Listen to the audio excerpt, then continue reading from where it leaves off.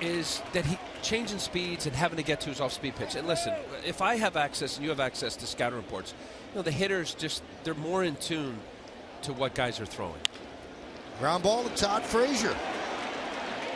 And he makes the play after just previously to that ground ball acknowledging his first roll call here at Yankee Stadium. Yeah, pretty cool, huh, for Todd Frazier.